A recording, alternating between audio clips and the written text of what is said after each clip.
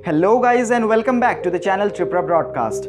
Lately I have been uploading videos related to Tripura Assembly. But you must have guessed by now that this video is about a geographical aspect of Tripura.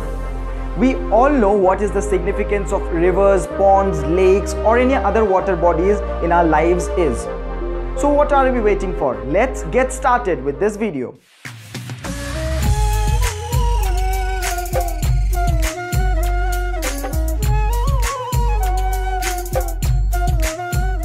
Welcome back guys, I am Swatik here with another aspect of Tripura and few interesting facts.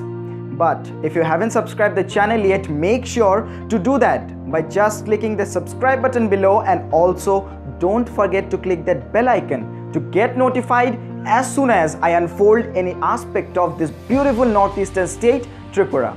As many as 10 major rivers and 8 major lakes flow in Tripura and all these 10 rivers are rain-fed and ephemeral in nature and by ephemeral I mean they are short-lived.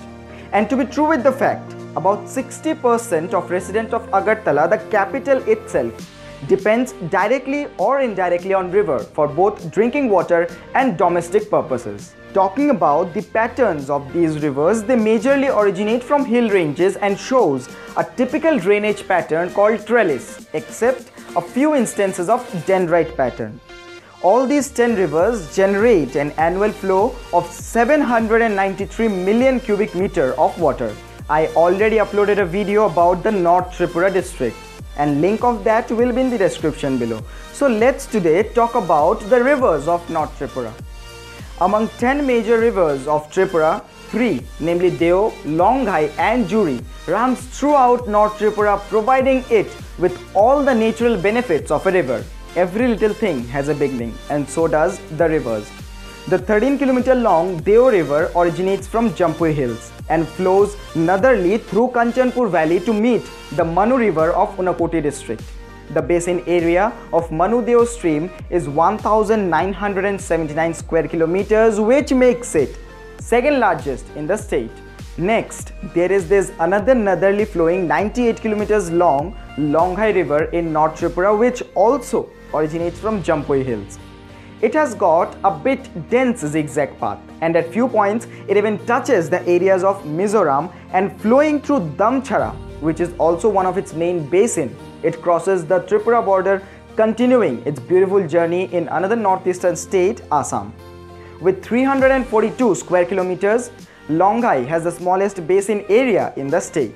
Okay, so I talked about two rivers of North Tripura that is Deo and Longhai and a third one is Juri. It is only 79 kilometers long with approximately 586 square kilometers of basin area. This also originates from Jampui Hills. So basically all the three major rivers of North Tripura originates from Jampui Hills which is not only famous as a tourist place of Tripura but also for its oranges.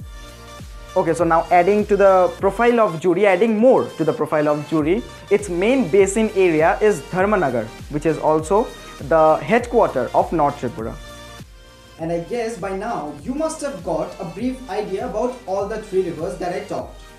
So that was basically everything about the rivers of North Tripura that I thought would brief the viewers. Unless and until you are a geographer or want to become a geographer, that pieces of information would do perfectly fine for you. And now, if you find this video informative or useful, don't forget to give us a thumbs up, share this video and if you have got any opinion, appreciation, advice or feedback, feel free to let me know those in the comment section below. But before doing anything, don't forget to subscribe our channel and click the bell icon so you never miss future updates from Tripura Broadcast.